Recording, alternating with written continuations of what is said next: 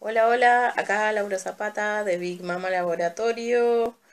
Bueno, la pregunta era, ¿qué fue lo último que hiciste por primera vez? Eh, fue grabar charangos por primera vez ejecutados por mí en un estudio de grabación.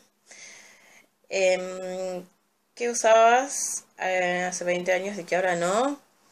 Definitivamente mi cabello verde. Ya no lo uso más, pero lo usé desde que tengo 16 años.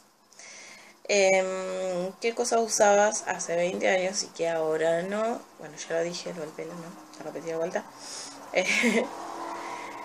¿Qué fue lo mejor que te pasó en estos últimos 20 años? Definitivamente mi proyecto Big Mama Laboratorio que me ha llevado a Europa, mm, mm, conocido gente increíble y, y grandes estrellas que conocí de chiquito y de repente me las encontraba tomando mate o gente que admiraba.